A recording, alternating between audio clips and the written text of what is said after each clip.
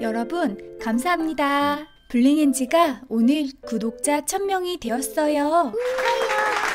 여러분들의 애정과 댓글 정말 감사합니다. 축하해요.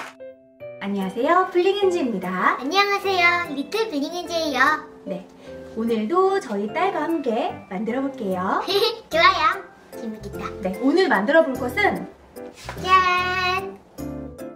이 팝업 카드는 작년에 만들어 본 영상인데 도안을 요청해 주시는 분들이 많으셔서 다시 한번 만들어 보게 되었어요. 카드 양 옆을 잡아당기면 창문처럼 문이 열리면서 3단 팝업이 펼쳐져요. 이건 아이가 만든 팝업 카드입니다.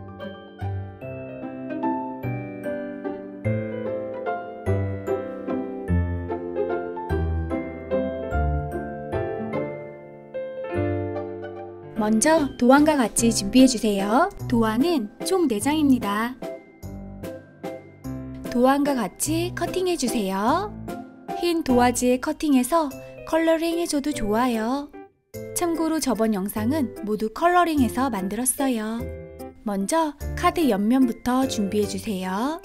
왼쪽 부분 접는 선에 맞춰 접어주고 가운데 부분도 접어주세요. 또 다른 옆면은 대칭으로 놓고 접는 선을 접어주세요. 뒷장을 준비하고 그 위에 옆장을 올려 이렇게 붙여줄 거예요. 풀 붙이는 부분에 풀칠을 하고 옆장을 붙여주세요. 반대쪽 부분도 풀칠을 하고 옆장을 붙여주세요. 뒷장과 옆장 모서리 끝을 잘 맞춰 붙이면 중앙이 딱 맞아 떨어져서 예뻐요. 안쪽 부분을 다시 한번 눌러 접어주세요. 팝업 1, 2, 3을 준비해주세요. 이렇게 팝업이 보여질 거예요. 작년에 만들었던 팝업 1단, 2단, 3단을 참고해주세요. 그림이 보여질 부분과 가려질 부분을 체크한 후 그림을 그려주세요. 대각선으로 잘린 이 부분이 아래쪽으로 가게 그려주시고요. 팝업 1 같은 경우에는 아래 1cm 여백을 두고 꾸미기 해주세요. 먼저 연필로 살짝 스케치를 한 다음에 펜으로 따라 그리면 실수가 없어요.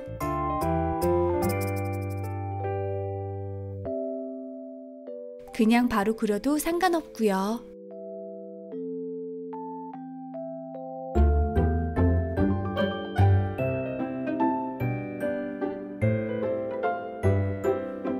그림을 그린 후에 마카펜이나 색연필 등으로 컬러링 해주세요.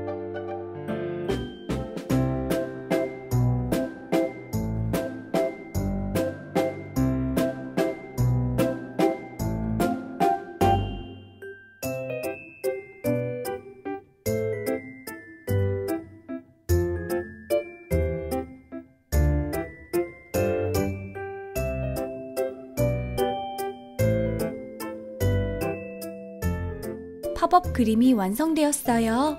그림이 윗부분인 배경을 가위로 잘라내주세요. 이때 끼임 여백 부분은 자르지 않아요. 나머지 팝업 그림 윗 공간도 잘라내주세요.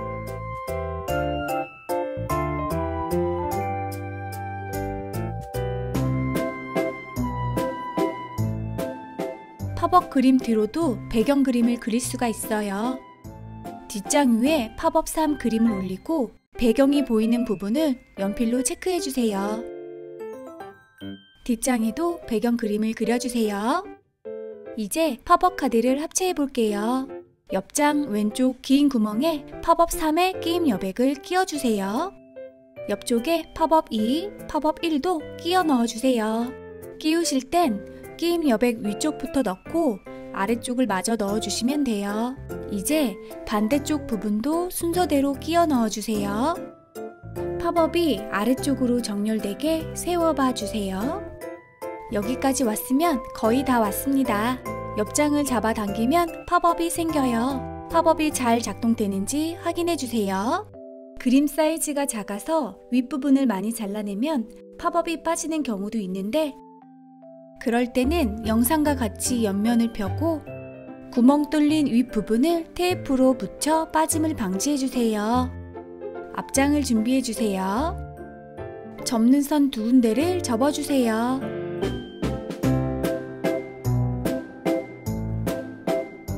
다시 펼쳐주고 만들었던 팝업 위로 올리고 세워주세요. 옆장 윗부분 잘린 선 안으로 영상과 같이 끼워 넣어주세요. 옆장 아랫부분에도 잘린 홈 사이로 앞장을 끼워 넣어주세요. 양 끝을 잡아당겨 팝업이 잘 작동되는지 확인해보고 작동이 잘 된다면 뒤로 넘겨 고정해 줄 거예요. 풀 붙이는 부분에 풀을 발라 붙여주세요. 반대쪽도 같은 방법으로 붙여주세요. 이렇게 창문 팝업이 완성이 되었어요. 생일 카드에 편지가 빠지면 섭섭하겠죠? 팝업 카드 뒷면에 카드 메시지를 꾸며봐요. 하트 카드 담을 주머니는 영상과 같이 양면 테이프나 풀을 바르고 카드 뒷면에 붙여주세요. 그리고 하트 카드를 꾸며주세요. 카드 뒷면엔 편지를 써주세요. 완성된 하트 카드는 주머니 속에 쏙 넣어주세요. 마지막으로 팝업 카드 앞장을 꾸며주세요.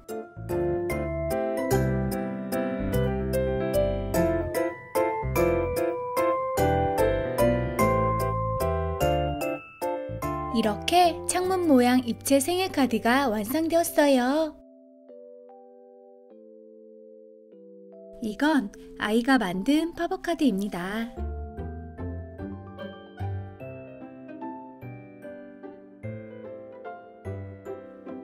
카드 양 옆을 잡아당기면 창문처럼 문이 열리면서 3단 팝업이 펼쳐져요.